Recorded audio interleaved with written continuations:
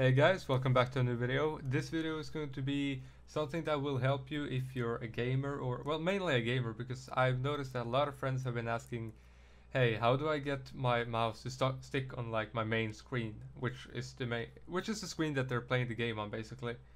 So I told them that they need the, the screen tools that um, uh, I told them, like I explained what it is and what it does, but they need to like, they wanted me to make a video on it. So here it goes. You're gonna have to download the dual monitor tools. This is um, kind of obvious that this is only for people who have dual monitors because otherwise you wouldn't have this issue. so what you're going to do is you're actually gonna download it. I have the link in the description so you won't have to worry about looking at the link right now. Let's see, it should be downloading right now. Here we go, save file. Gotta start it. As you can see, I've already downloaded it earlier. Next, accept, next, next, and install press yes. Uh, there we go. I got the UAC, the user account control popping up, so I had to accept that. Launch DMT when the setup exits. Yes, sir. Actually, minimize that for now.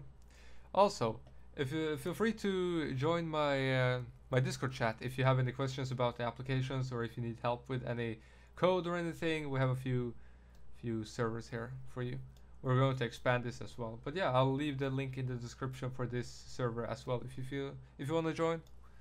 Now let's see it did not oh yeah it did start as you can see. Dual monitor tools. Now it's super simple guys.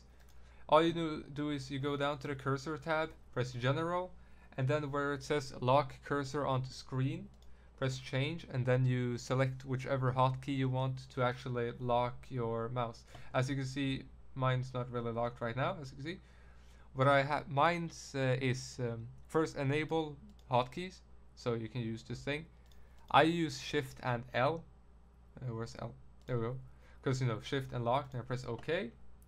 Close. Shift L.